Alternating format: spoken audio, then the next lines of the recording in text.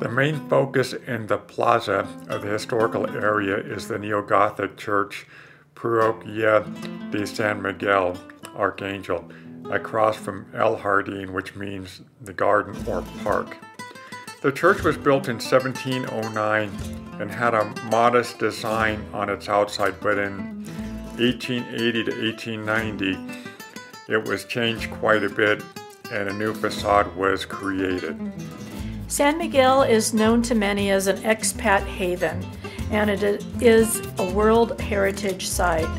It's located in the far eastern part of the state of Guanajuato in the Center Highlands in Mexico.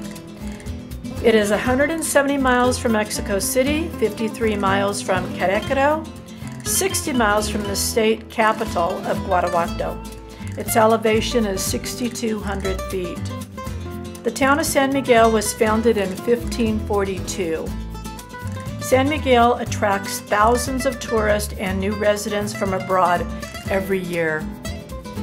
What a lot of people don't know is that at the beginning of the 20th century, the town was in danger of becoming a ghost town after an influenza pandemic. Gradually, it became the Baroque neoclassical colonia and was discovered by foreign artists who moved in and began art and cultural institutes. This gave the town a reputation that began attracting more artists to come here.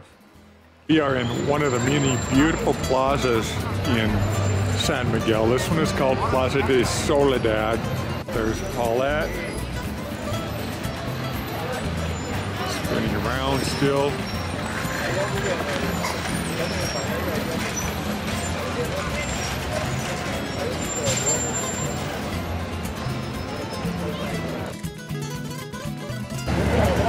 It's rush hour in San Miguel.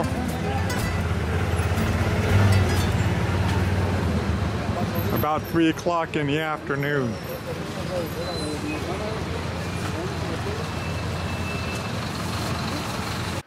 There are many mercados in San Miguel. The one that you're looking at here is Mercado de Artesanías. Also attached to it is the Mercado Ignacio Ramirez, um, here you'll find a lot of different types of artwork. As you can see here, it's a huge market. It, it spans about three streets. You go out of one market, cross the street, go into another market. Here you're looking at an entrance. Here you see some alebrije work. Here is a lot of clothing, some silver work there. Um, some more clothing, a lot of baskets and stuff that you kind of typically see in most markets. There's some jewelry, some more skulls, which you also see a lot of, more alebrije. Uh, it's really a, a pretty nice market.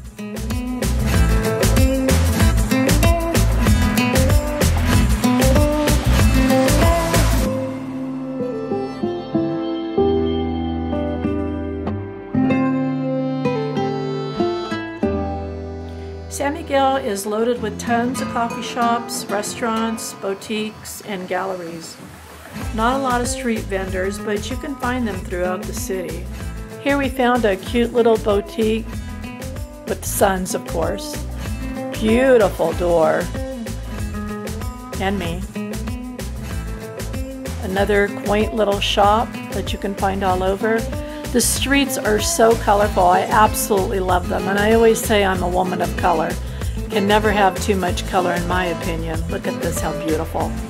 San Miguel is also known for its great weather, cost of living, although I think the prices are rising due to the growing number of Canadians and U.S. citizens flocking there to make San Miguel their retirement destination. San Miguel also has a low crime rate. There are many buses like this that run throughout the city. Uh, our cost with our Inapam card was four pesos. Uh, I think they're about maybe nine or ten pesos regularly. As you can see here, the streets are absolutely beautiful. And I can see why a lot of people relocate here because it, it's a beautiful town. There are a lot of taxis in San Miguel. Uber is also available, but in my personal experience, I found that once you ask for a ride, it takes drivers a long time to accept.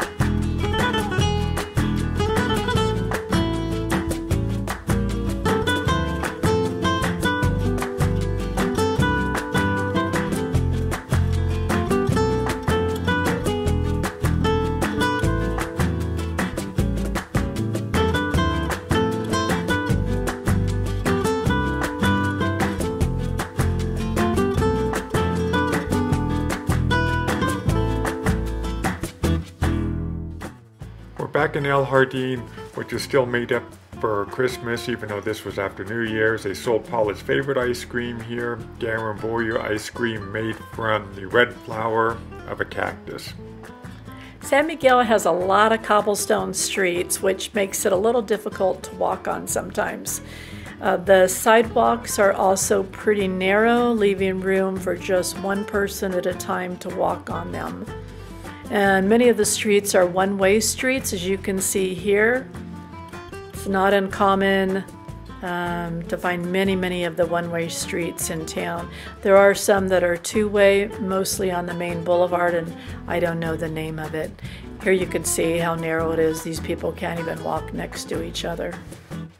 Some streets in San Miguel can also be hilly, which would need to be considered for somebody uh, retiring in San Miguel that doesn't like climbing up and down hills all the time. What I personally love about San Miguel is the bright colors everywhere. The stone all over the buildings, the bougainvillea that drapes over the walls, um, so many plants, which you know I love, and just the color is just magnificent. I can see how tourists want to flock here. Well, the central area is beautiful. So is a lot of the rest of San Miguel. I would encourage people to walk a few blocks out and just check it out like we are here. There's Paulette with her giant bag. We're getting ready to enter the park, which you see here, uh, which I thought was just amazing. I hadn't really seen it in any other YouTube videos, but it's a big park uh, with a lot of stuff, a lot of activities a lot of places to, to sit and relax and enjoy the day. If I lived in San Miguel, I'd spend a lot of time in this park. I just thought it was paradise myself. What I liked was the paved um, paths that you had all through here, the trees, and of course, the plants. Lots of plants. They did a really nice job. In fact, coming up here, they have a recycling, and normally you see the recycling bin, this right here, um, but this one had the bottles in it. Usually it's only the caps, which was a surprise.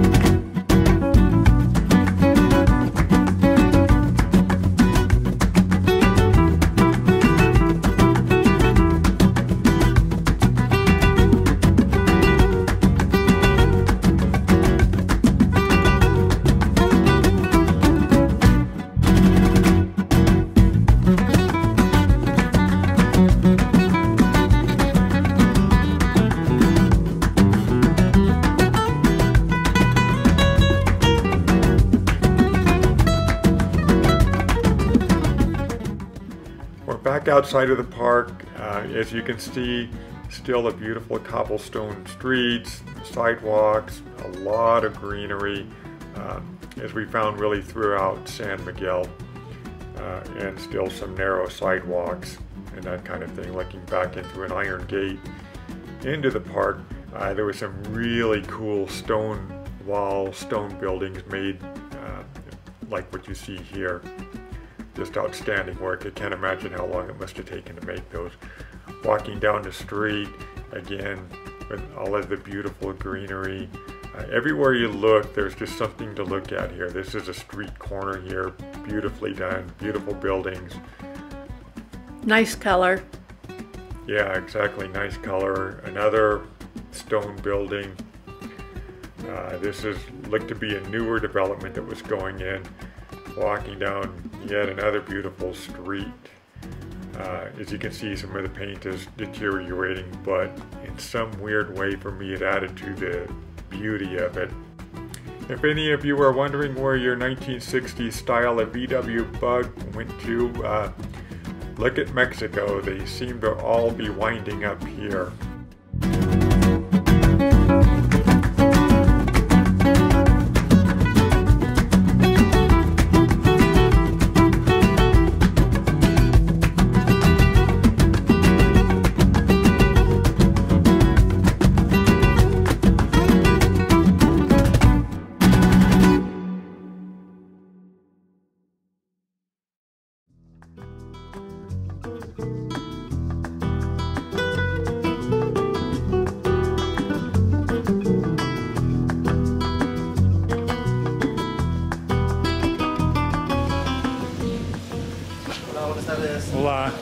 Hola, Rosa tardes. San Miguel.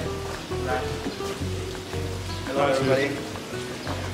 Welcome to Hotel Rosewood. Hello, Hotel Rosewood? Rosewood San Miguel. Okay, gracias. Welcome.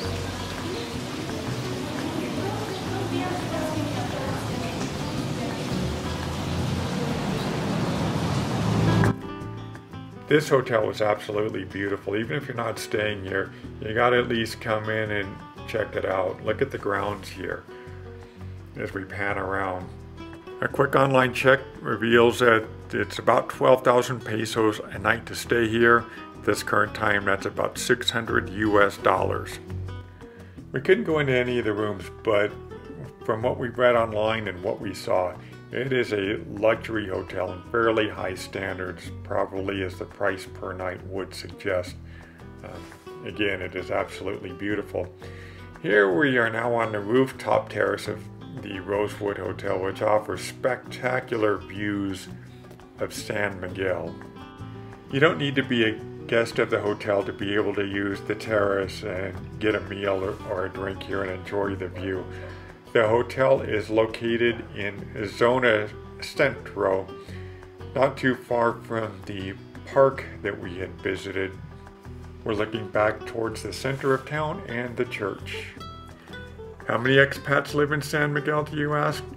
Well, about 66,000 residents live in the city proper and about 175,000 in the outlying areas. And the total expat population is about 10% of that number. As we said, San Miguel is known for its Baroque Spanish architecture and, of course, its thriving art scene. Property prices in San Miguel have surged in recent years due to the influx of foreign buyers.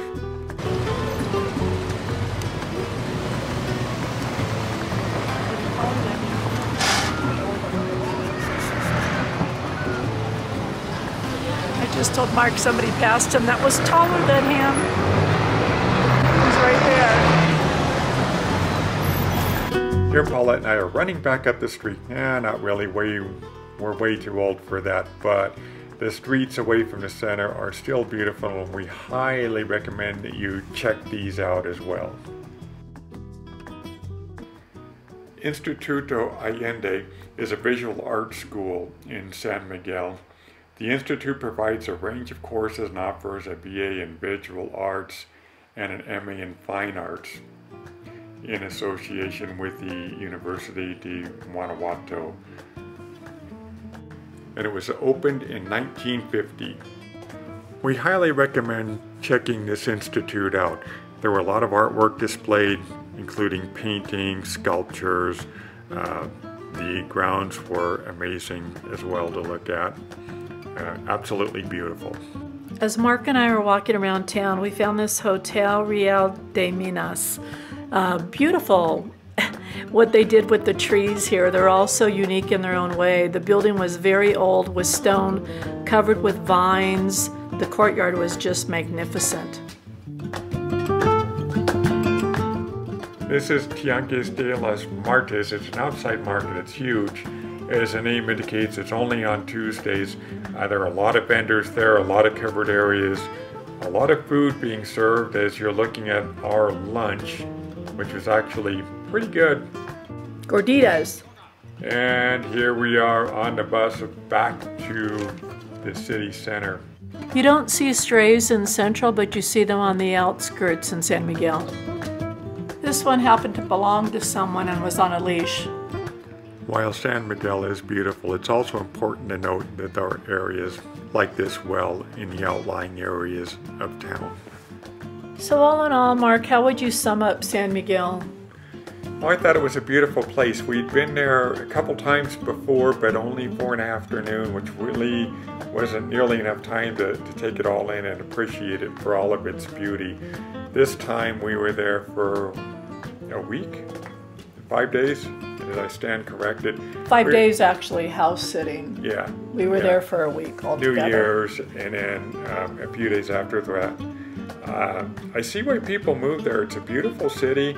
I mean, I totally get the attraction, especially if you're into uh, an artist.